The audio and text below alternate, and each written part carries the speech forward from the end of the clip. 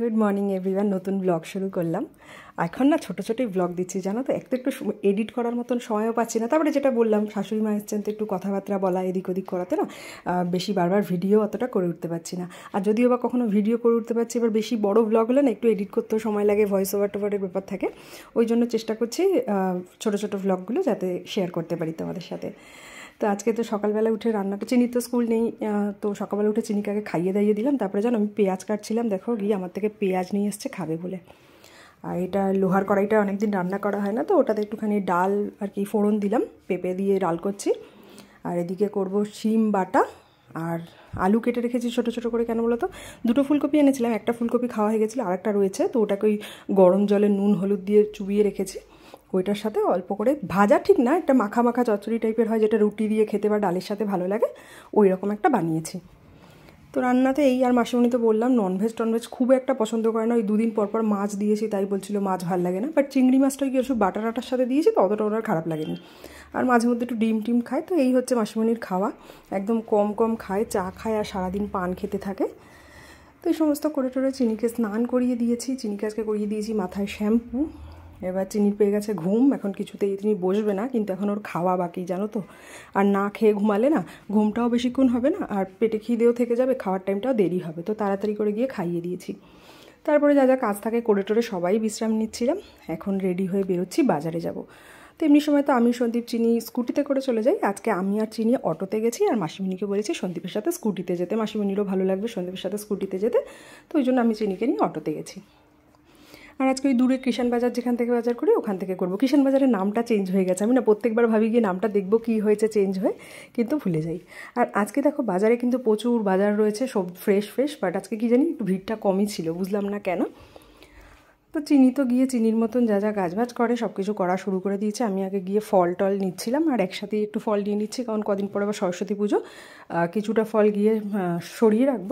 পুজোর জন্য, আবার যতটা দরকার হবে সেটা আবার যেদিন পুজো তার আগের দিন। মানে মঙ্গলবার বলব সন্দীপকে গিয়ে নিয়ে আসতে। তো এখানে তো খুব বেশি বড় টড়ো করে পুজো করব না, ওই ফুল, মিষ্টি, ফল দিয়ে যেমন হয় আর কি।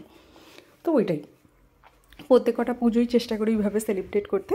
কারণ ঘরের মানে বাড়ির থেকে দূরে থাকলে দেখবে ওই সমস্ত পুজোর দিনে একটু মনটাও খারাপ লাগে বাট নিজেরা যদি একটু ছোটোখাটো করে ঠাকুরকে ফুল, মিষ্টি, জল দিয়ে দেওয়া যায়, বেশ ভালোই লাগে মনটা। আর আমার মেয়েকে দেখেছ? এরপরের থেকে আমাকে আর বাজার করতে হবে না। বাবা আর মেয়ে গিয়ে বাজার করে আনবে। আর একটা একটা করে পারছে, আর ও যখনই কোনো কাজ করতে পারে, তখন আমরা হাততালি দিই তো, আমি আর সন্দীপ। ও নিজে নিজে হাততালি দিয়েছে পেরে। পা তুলে পেঁয়াজ পারছে দেখো। পায়নি মনে হয় হাতে। এবার এসছে টমেটো নিতে। ছোট্ট ছোট্ট হাত দিয়ে কত কাজ করছে, উফ। বাস্কেটে কত কিছু বাজার করেছে। তো তারপরে পাশেই ওখানে যে চায়ের, বলি একটা ছোট্ট ফুড কোর্ট টাইপের আছে, ওখানে এসেছি। আমি, মাসিমণি, সন্দীপ চা খাব। কালকে তো বেরিয়েছি বলে আর ঘরে চা খাওয়া হয়নি। আর ওখানে সামনেই না সিঙ্গারা, গরম গরম জিলাপি ওগুলো ভাজে। তো সিঙ্গারাটা একদম নিরামিষ থাকে আর খেতে খুব স্বাদ হয়। ভিতরে কিশমিশ কাজু সমস্ত দেওয়া থাকে।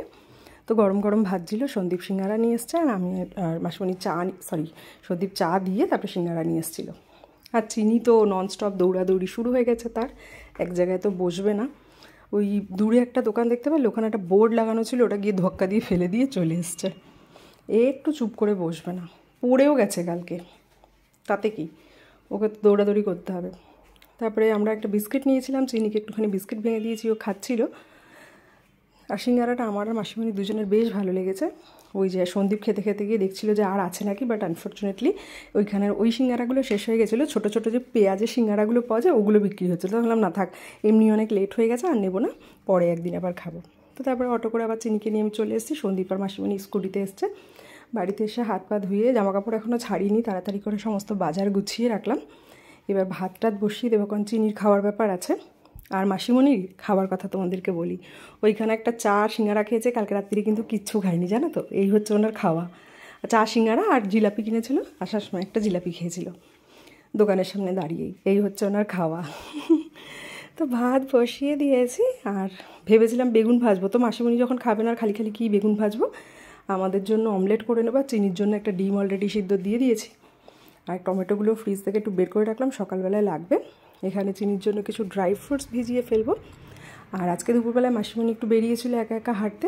ঘরে বসে কতক্ষণই ভালো লাগে টিভি টিভি উনি অত দেখেন না। তো তখন গিয়ে চিনির জন্য একটা নাইট স্যুট কিনে নিয়ে এসছে। চলো তোমাদেরকে ওটা দেখাই আর তারপরে ব্লগটাও শেষ করি। কি কিউট না? পিঙ্ক কালারের হাফ স্লিভ গরমও পড়ছে, বেশ ভালোই হবে চিনির। চলো ব্লগটা আজকের মতো এখানেই শেষ করি। আমার এই ছোটো ছোটো ব্লগগুলো তোমাদের কেমন লাগছে জানিও। সবাই খুব ভালো থেকো। আবার দেখা হবে একটা নতুন ব্লগে বাই বাই